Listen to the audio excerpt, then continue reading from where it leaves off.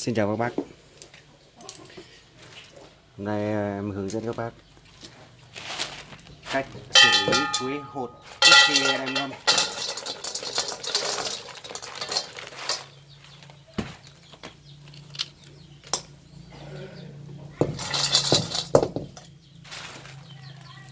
Đây là chuối hột rừng này các bác. Khô rồi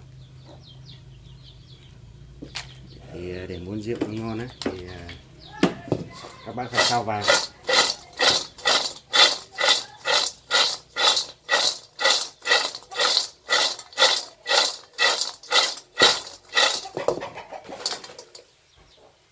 sau khi nào mà nó nó ngả từ màu à, trắng mà nó hơi sang cái màu à, hơi vàng này?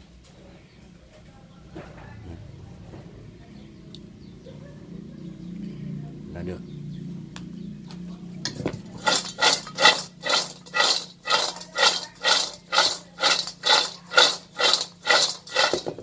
Sao vàng hạ thổ? Thì à, xong đây thì à, xong cái mẻ này thì em chỉ cách là hạ thổ như nào?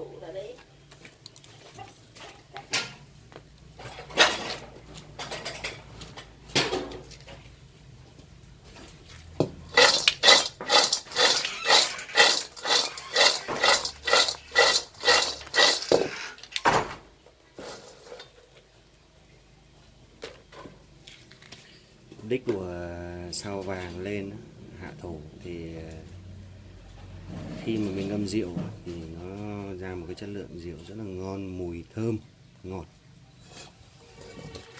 Nó không giống như là mình à, ngâm à, tươi hay là mình ngâm trực tiếp khi mà mình chưa sao á. Là rượu nó mùi rất là thơm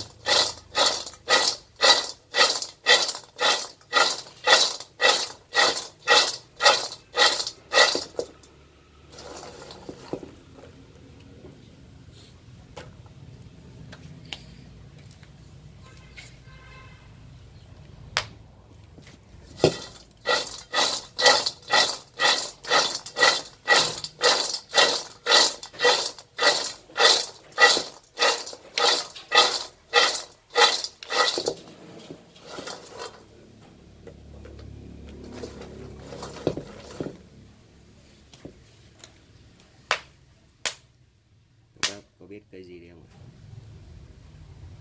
Đây gọi là cây xà nu. Thường để nhóm bếp. Mà có dầu rất là dễ cháy. Các bác xem này. Châm lửa và cả nó cháy.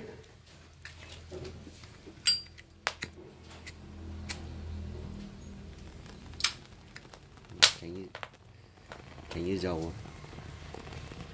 Để nhóm bếp mà cái khói ghê lắm.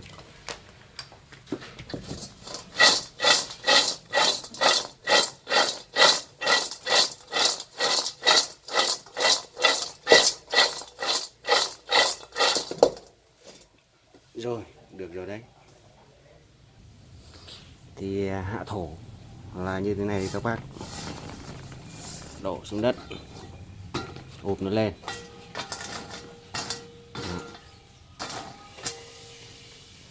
Cho nó nguội đi.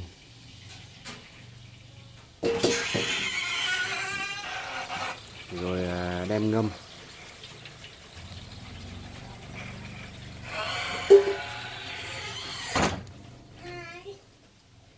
Vậy là xong.